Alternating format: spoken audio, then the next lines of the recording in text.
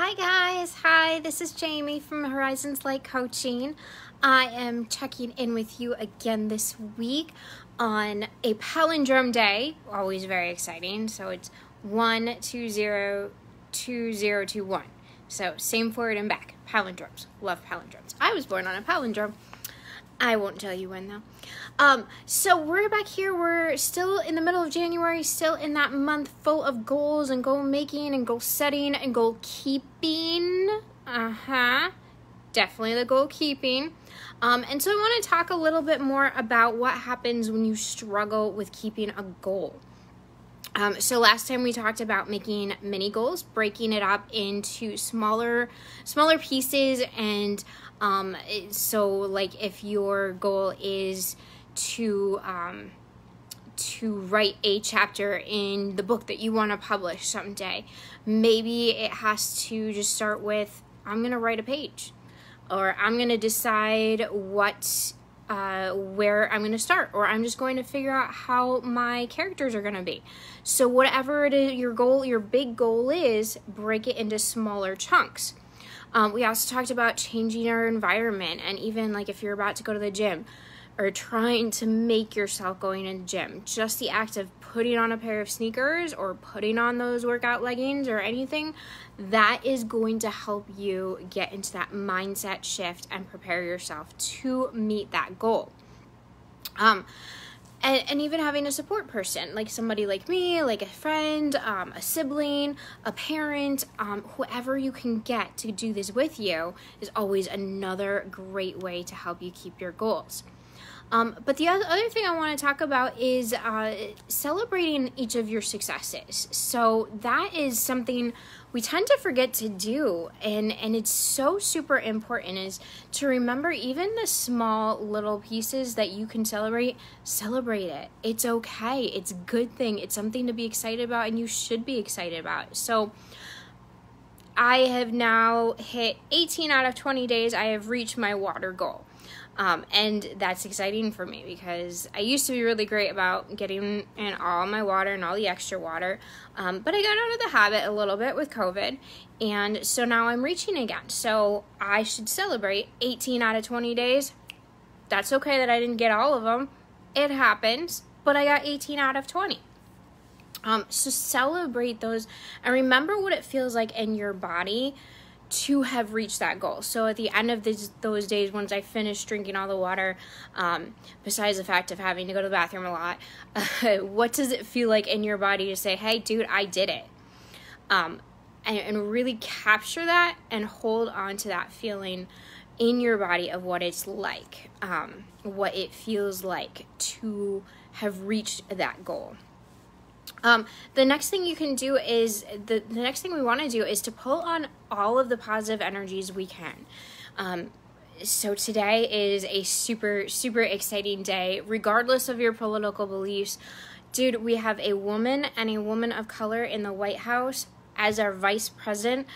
Um sorry that is dude just fabulous. So that's something exciting and we can pull on that exciting energy and use that to inspire and motivate us and say hey dude, she just broke the glass ceiling.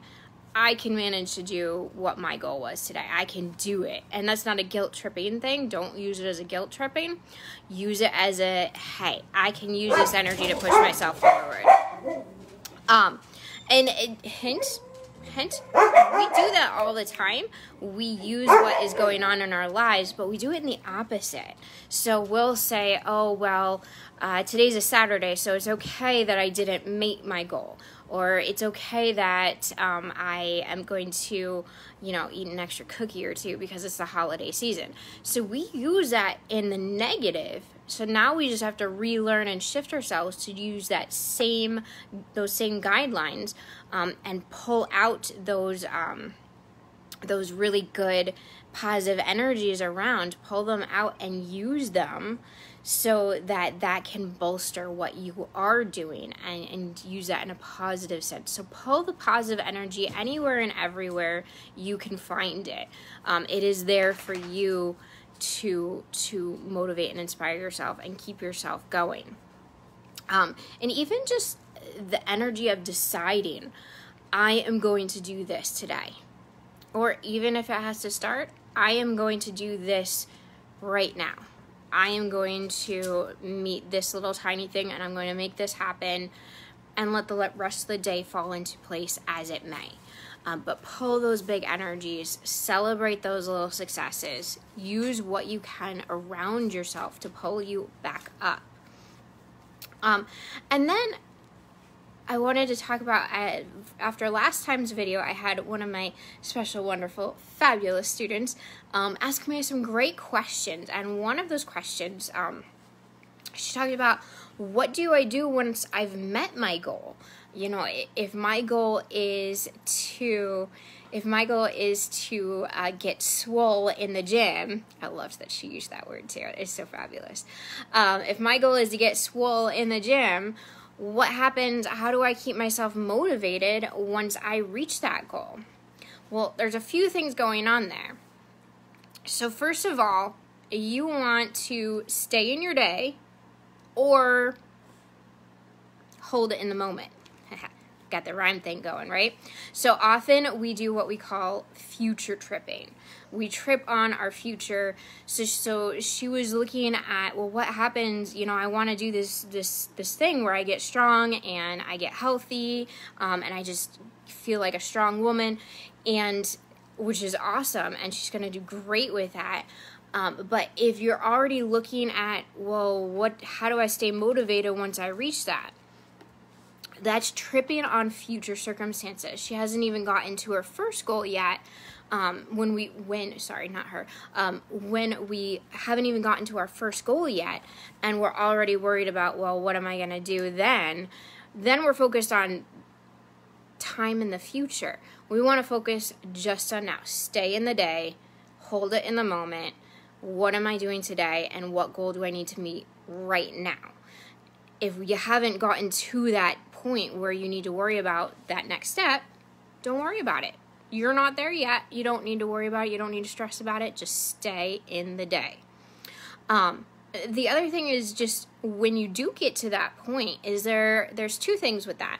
There is um, this point where some goals uh, you'll meet your goal and then you make the next goal.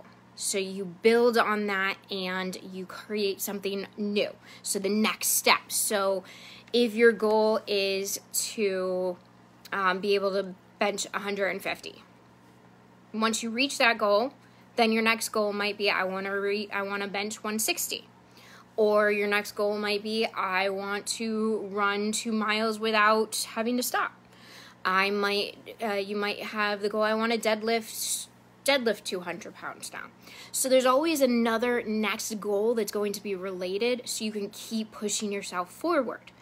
The other thing that can happen too is once you reach a goal, um, and and you still want to stick with what you've been doing. You don't want to lose that motivation. What happens then is that we have to shift from it being a goal into a habit. And that takes just a different kind of energy but same idea. So now it's not necessarily i'm meeting my goal um, or I have this big goal to reach, it's I'm creating the habit. My goal is to create this habit. So, say you want to have a daily meditation practice. Um, that's not really an ultimate goal that the goal is creating the habit and starting to just become regular and making it happen um, so but that takes a different kind of shift of energy um, in building those habits uh, which we can talk about in a uh, another live but so, keeping yourself motivated, celebrate every single small success you've got. Um, the big thing is is sometimes we like to do the compare and despair. Nobody can judge where you're at or what your 100% is. Sometimes your 100% in a day is getting out of bed and taking a shower. Sometimes your 100% in a day is is going to the gym, writing three chapters in your book, uh, uh, working all day, getting all your homework done, finishing up this extra thing, helping somebody else, volunteering, taking the dog for a walk. That might be your 100%. Only you know when you've reached your 100 and only you know when you can push past that 100%. It's all you and what is going to work for you. So keep holding on there and keep pushing yourself to what is at your capacity. Um, we all have different levels and different places that we're at and you can't you don't want to judge your beginning to somebody else's middle or end. Um, that's just it. Just stay in your lane, stay in your day, hold it in the moment, celebrate those successes, um, and and just keep where you are at and and pull on the energies from everywhere around you. All right, guys. Well, happy inauguration day and happy Wednesday, and I will see you next week. Don't forget to like and subscribe and share these videos if they're helpful to you. Um, if you ever want some more one-on-one help, kind of navigating yourself through a next next step or a goal, please uh, reach out to me, uh, bit.ly slash horizons light coaching. Um, and you guys have a wonderful day. Bye-bye.